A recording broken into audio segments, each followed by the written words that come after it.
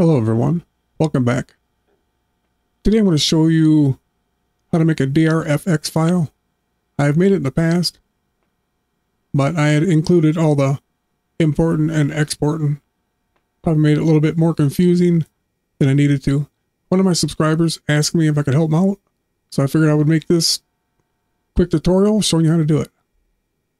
On the right here is my uh, macro that I made. And on the left is just a new folder, empty one. And this is my thumbnail picture. 104 by 58. That's the correct size. You don't have to do that step if you don't want to put a, a thumbnail on it. But that is it right there. I have to use this on-screen keyboard because I'm paralyzed. I can't use my hands and arms. Now we're going to make another folder within this folder. And the first one, edit. And then you want to click into that one. And I'm going to put all four categories, generators, titles, transitions, and effects. You don't have to do that. I'm doing it for the tutorial. Whatever you're making is the only one you have to put in. If you made a generator, you only have to make the next step a generator. And so on. And always make sure you add the S behind them. I'm going to make all four here.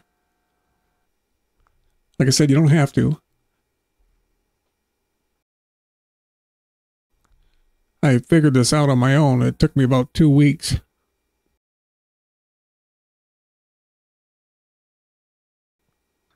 Okay, we're going to make an effect. Because that's what this is. This here is an effect. So I'll double click on effects. Get another folder. Now this is the folder you want to name that you're going to see within Resolve. So whatever you want to call it, this will be the folder you call it.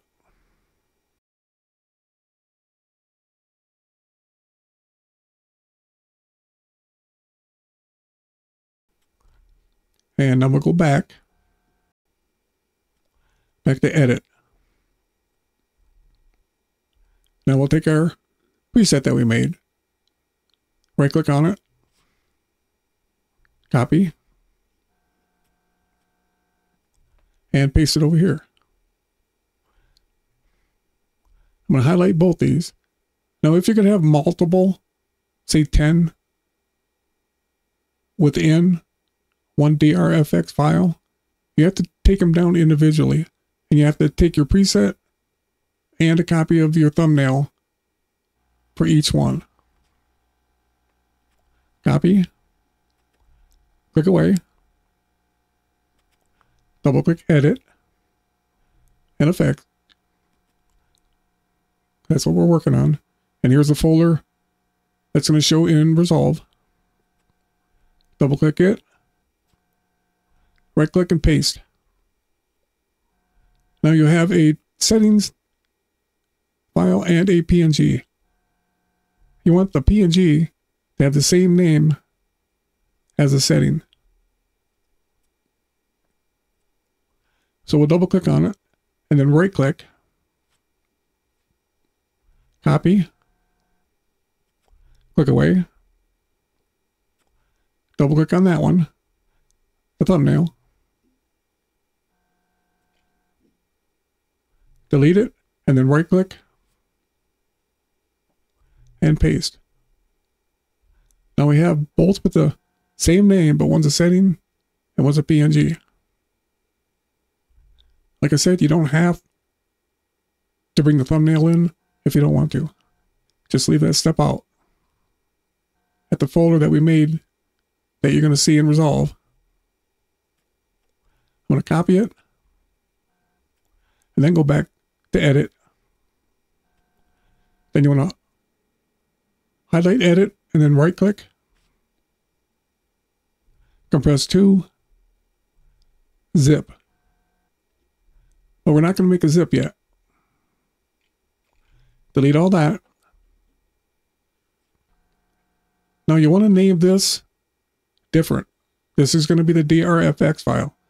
You don't want it exactly the same as the file we made with the name that I said you're going to see in Resolve. You want to add something to it. If you name both the files the same, Resolve won't recognize it. I'll put an underscore there. At the end, put .drfx. Hit enter, a window will pop up, hit yes,